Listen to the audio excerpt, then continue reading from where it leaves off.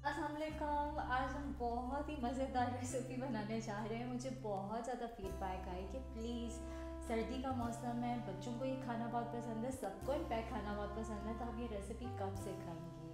सो so, आज हम बनाएँगे फिंगर फ़िश लेकिन वो भी रेस्टोरेंट स्टाइल में। फिंगर फ़िश की रेसिपी बहुत आसान है। चलें जल्दी से फिर इसे स्टार्ट करते हैं। सबसे पहले फिंगर फ़िश को एक बाउल में डालेंगे। Almost one and half cup of water और साथ ही थ्री टेबल स्पून विनेगर का। सेट करना बहुत ज़रूरी है। इससे जो फ़िश है, उसकी जो स्मेल होती है, वो तो बिल्कुल ख़त्म हो जाती है। इसको हम तकरीबन टू मिनट्स के लिए विनेगर में डिप करेंगे।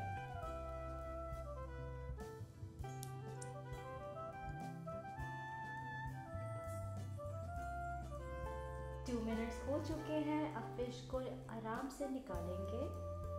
और इसको स्क्वीज़ कर देंगे। आप देख रहे हैं कि कभी भी नहीं टूटती इसको थोड़ा सा हार्डली स्क्वीज़ करना होगा। जितना एक्सेस वाटर आप इसमें से एक्सट्रैक्ट कर सकते हैं, उसको कर लीजिए।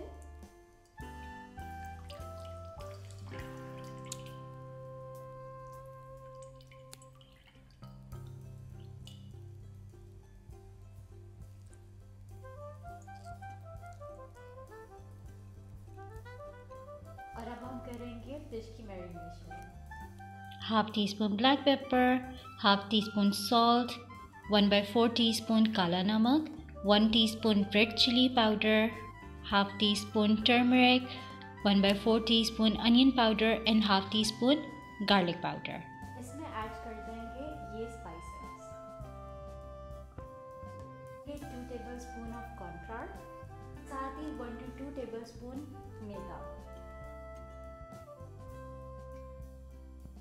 next इसमें ऐड करेंगे three tablespoon of vinegar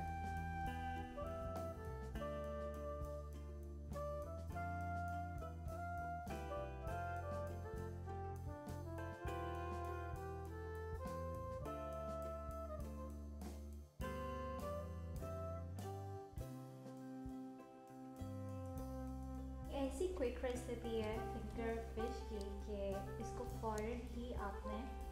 fry करना है। ये बिल्कुल मैरिनेशन में टाइम नहीं लेती है। वाइट मीट वैसे भी बहुत जल्दी मैरिनेट हो जाता है। तो जैसे ही आपने इसको मैरिनेट किया, वैसे ही आपने ऑयल को गर्म किया और इसके अंदर फ्राई कर दिया। नेक्स्ट फ़िश को कोट करेंगे in bread crumbs bread crumbs जो है वो बिल्कुल फाइन टेक्सचर में भी आप ले सकते हैं और थोड़ा सा कोर्सली टेक्सचर में भी आप ले सकते हैं। ब्रेड क्रम्स में ऐड करेंगे one teaspoon of black pepper one teaspoon chilli flakes half teaspoon salt साथ में थोड़ा सा पार्सले इसको अच्छे से मिक्स कर लेंगे और स्टार्ट करते हैं फ़िश को कोट करना.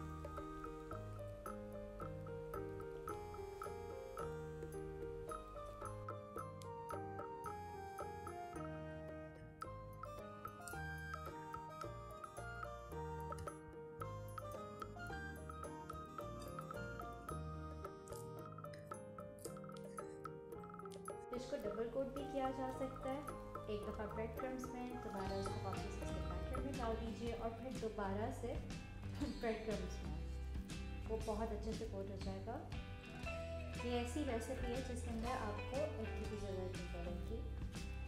अगर आप चाहते हैं कि थोड़ा सा और मज़ीद जो इसी क्रस्ट है वो क्रंची हो जाए तो इसके अंदर one tablespoon rice flour का भी ऐड कर दीजिए। ये बहुत क्रंची मज़ीद करेगा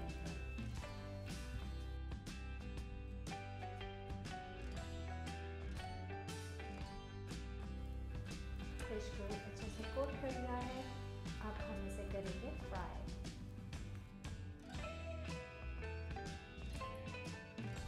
पैन के अंदर मैंने ऑयल ऐड कर दिया और अब इसे करेंगे बिल्कुल गर्म और फिर फ्राई करेंगे हमारे फ़िश स्टिक्स ऑयल गर्म हो चुका है, अब इसमें ऐड करेंगे फ़िश स्टिक्स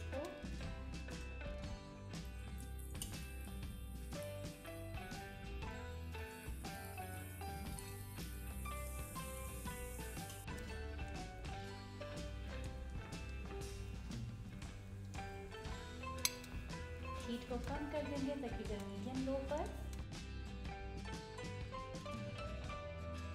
फ़िश बहुत जल्दी फ्राई हो जाती है। तो आपने देखा है कि जो इसका कलर है तो बिल्कुल एक जैसा आए।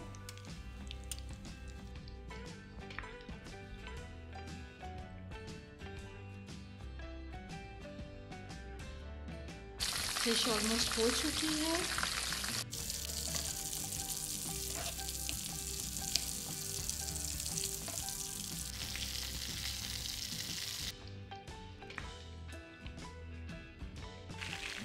इज़ डन अब इसे हम डिश ऑफ़ कर लेते हैं बहुत प्यारा है इसके ऊपर लाइट गोल्डन ब्राउन कलर आ चुका है